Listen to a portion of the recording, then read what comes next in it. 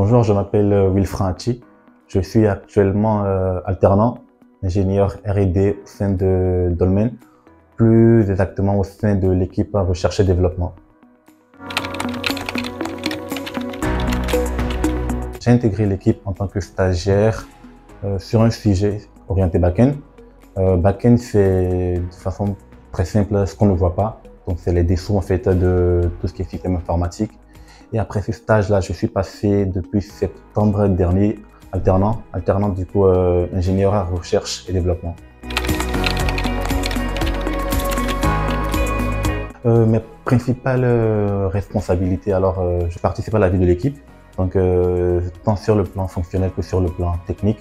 Sur le plan fonctionnel, c'est tout ce qui est recherche, tout ce qui est conception.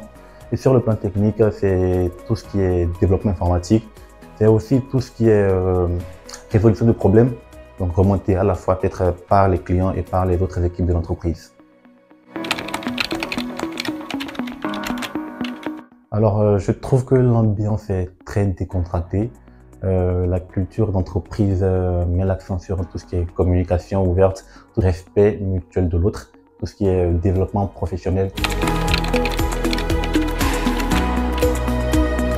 Par rapport à moi, c'est peut-être que quand j'ai à manger pour le midi, que j'arrive pas à terminer le repas, je le mets dans le frigo.